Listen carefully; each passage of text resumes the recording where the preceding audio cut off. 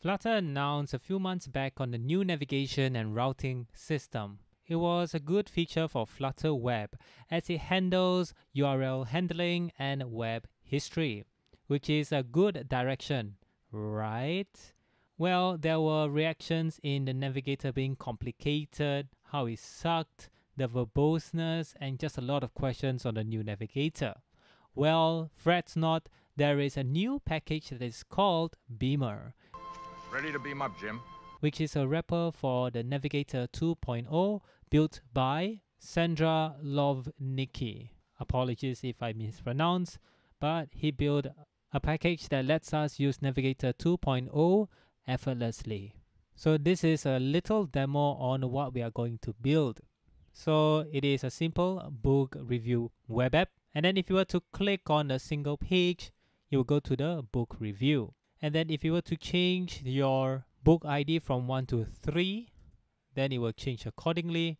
And then if you change it from book ID 3 to book ID 6, it will change accordingly. And then if I were to press on this back button, it will lead me to the home page. And then if I were to use this back button on our web browser, let's see if it works. So it goes back to 6, it goes back to 3, and it goes back to 1, and then goes back home. Great, that is exactly what we want. And this is how you use the Beamer package. So you have an initial location, which is your home location, and then you have your beam locations or the location that you navigate to.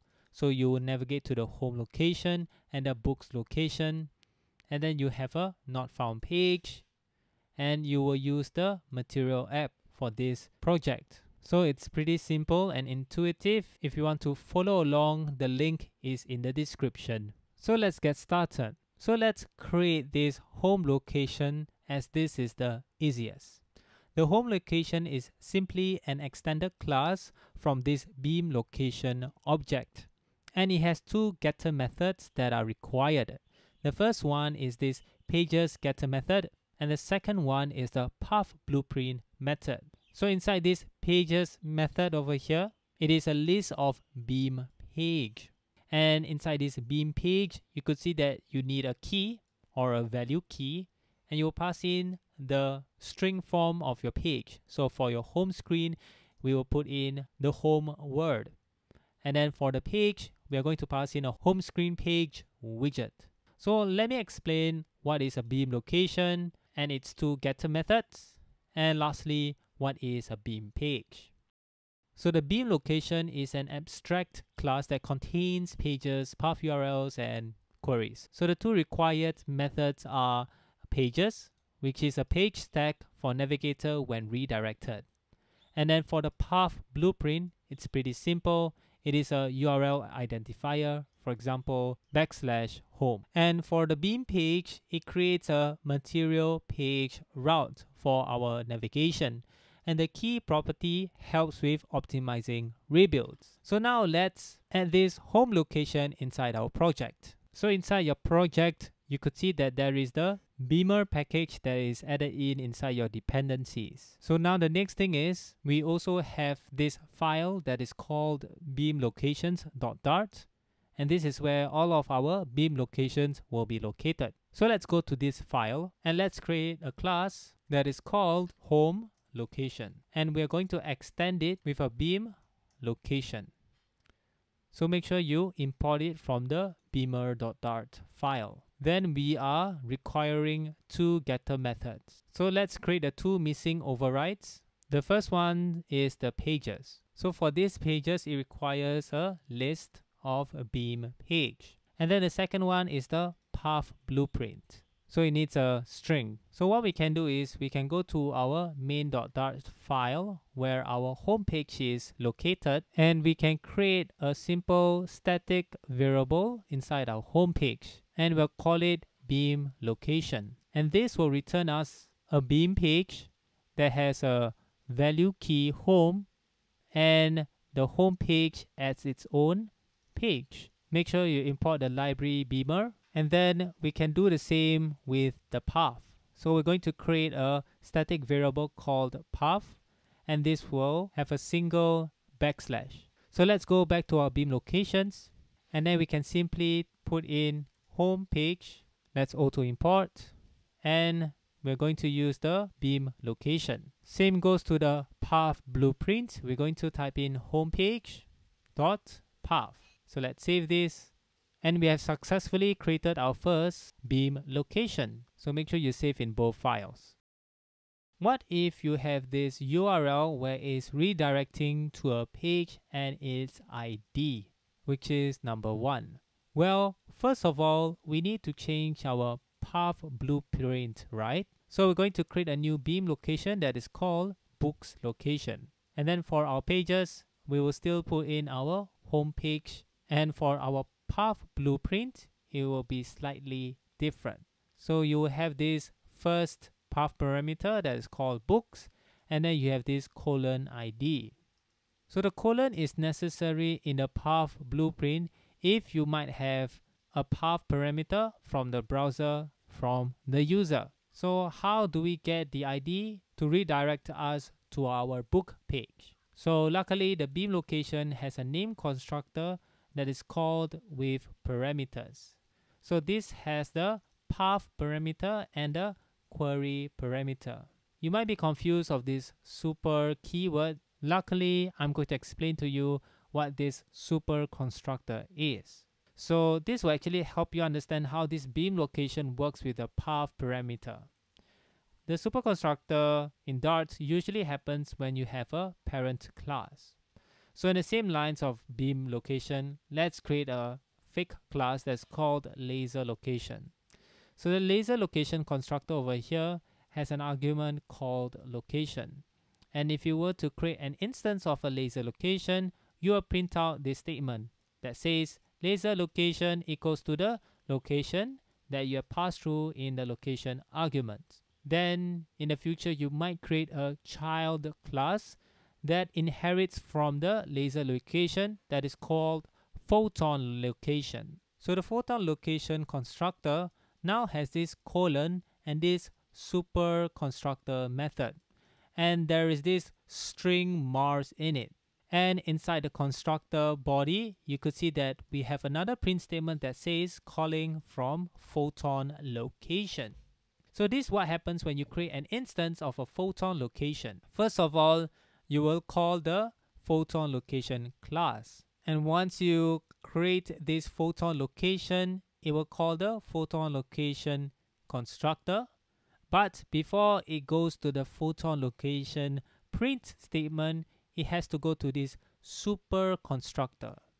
So this super constructor is actually calling from the laser location that we have extended. So in the background, we are actually creating an instance of a laser location. So inside the laser location class, we are activating the constructor.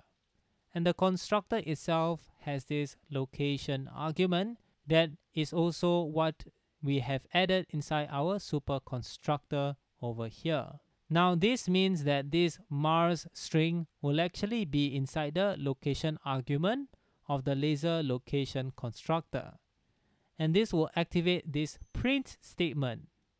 So what do you think will be the output for this laser location print statement? Well, if you guessed it correctly, the output will say laser location Mars. Once we are done with the super constructor, then we will go to our photon location constructor body, which activates the print statement and our output will be calling from photon location. So in summary, the super constructor will get activated first. That's why you see this laser location Mars statement. So once that's done, then you will call the child constructor body. And that's why the calling from photon location is the second print statement. So once you have some sort of idea of how the super constructor works, then going back to our beam location, so when we are passing, for example, a path inside our with parameters named constructor, this will activate the super.with parameters constructor. As you could see that it has a named parameter that is called path. So in the background of this with parameters, it actually assigns the path parameters in the beam location object. So if you were to create an instance of a inherited beam location object with the path parameter, then the path parameters property, which is a map type, will be assigned. So using these path parameters, we are able to create this simple if statement to say that if the path parameter contains this key ID, then we will be able to go to this book page, which is wrapped around in this beam page, or it's just a wrapper for a material page route, using this specific key according to the ID that we have pressed. That's why we have passed in a value key with a specific ID according to the word book. Then in our page parameter, we can pass in a book page widget where we will get the first book that has the same ID as the path parameter ID. So let's add this books location in our beam location file. So we can copy and paste the home location and then we can change the word home to books location. The next thing is we're going to change the path blueprint. So a better way is to go to our book page and then if you were to remember correctly, we create a static variable which has the books ID with the colon as well. Then in our beam locations, instead of home page, we can put in the book page. Let's auto import and remove the dot path. Let's change this to a block body and let's add in the if statement. So there is this path parameters over here and we're going to make use of this contains key method and we are going to make use of the string id. So the second thing is that we need to add in our named parameter with parameters. So if you can so if you command click the beam location you could see that there is the with parameters named constructor. We can highlight and copy this. Before we go back to our beam locations file, you could see that we have the path parameters. That's basically an empty map. Alright, so let's go back to the beam locations.dart file and then we are going to paste our named property with parameters. So instead of beam location, we're going to type in books location. And then for our super methods over here, we're going to remove this whole thing. And then we're going to type in super dots. So we're going to make use of the with parameter. So copy this and paste this. Let's add in the brackets. Now we're going to pass in our named parameter into our with parameters named parameter, such as this. So pass in path with the path and pass in the query with the query. With every named constructor, we need to add in our own constructor. So books location constructor, but we will reference it to the beam location constructor as well. So before we return the book page, we can just comment this conditional and then we can go to our main.dart. So let's save this in both files. Then inside our My App widget, we're going to wrap this Material App widget with the Beamer widget. So the Beamer widget has some required named parameter. So let's first change this child parameter to the app parameter. And then we're going to add in our initial location. So our initial location will be the home location. So we're going to add in the instance and auto import. Secondly, we're going to add in the beam locations. So the first one will be the home location and the second one will be the book location. Once we are done, we can go to the home page and right under our inkwell, which is on the book, we want it to redirect it to our book page. So we can make use of the beamer.offContext.beamTo. Sounds like a Star Trek reference. Ready to beam up, Jim. And then for the location, we need a beam location. So it will be our books location dot with parameters. Let's add in a semicolon. And the parameter that we are going to pass in is the path parameter. And this requires a map string. Let's add in a comma. So what do you think the key will be? So if you go back to the beam locations.dart, the key that we need is this string ID. So let's go back to main.dart. So let's add in the key ID and what will be the value? So the value will be the book ID. So we can type in book.id. However, for this parameter, if you were to hover over it, you could see that for the path value type, it must be a string.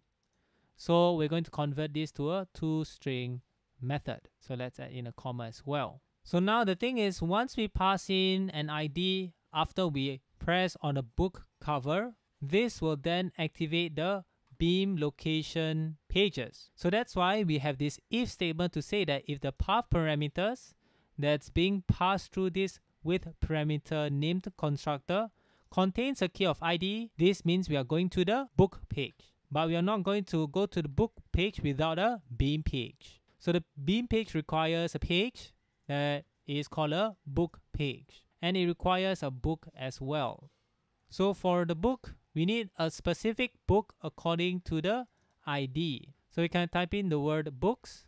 Let's auto import. And we're going to find the first where the element or the book, let's change this into a block body. We need to return a boolean from a conditional statement, basically saying that if the book dot id is equal to the path parameters where the value is from the key id. However, this is an equality operator, so the type should be the same. For these path parameters, you could see the type is string, but for the ID, it is an integer. So we're going to put in a toString method. Alright, lastly, we want to optimize the rebuild. So we're going to add in the key or value key to be specific and the value will be a string that is a book but with the specific ID. So let's put in the string interpolation of the path parameters key ID. So now it makes a little bit more sense when we see in our main.dart that we are beaming to this specific book location parameter with the path that we pass in with the key ID. So now let's save this in both files and let's see if it works. If I were to click, for example, on this enemy book, Alright, so it is working. You could see that the enemy book has the book ID number 4. What if I were to go to number 3? Press enter and it goes to the third book which is the Fight Club book. And now if you were to click on this back button, it will redirect or beam us to our homepage.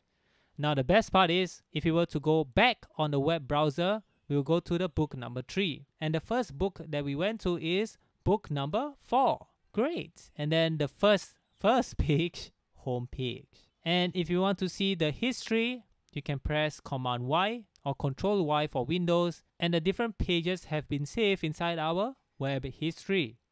Great! In summary, we learned what is a beam location, which is an abstract class that has our stack pages and our path blueprints and we also learned the beam page. We create a material page route with the property key to optimize rebuilds. Moreover, we learned what is a super constructor and how it is being used in this beamer package and lastly, we roughly know what's beam to method, which basically redirects us to the required page according to the beam location. And if you want to learn more about Flutter Web, you can look through to my different web courses where I teach you how to build a developer portfolio that's responsive in mobile and desktop and also a landing page in Flutter Web with Firebase. That's about it. If you like this video, give it a thumbs up. And if you want more of this kind of video, subscribe down below. And comment down if you think this Beamer package is what you're looking for.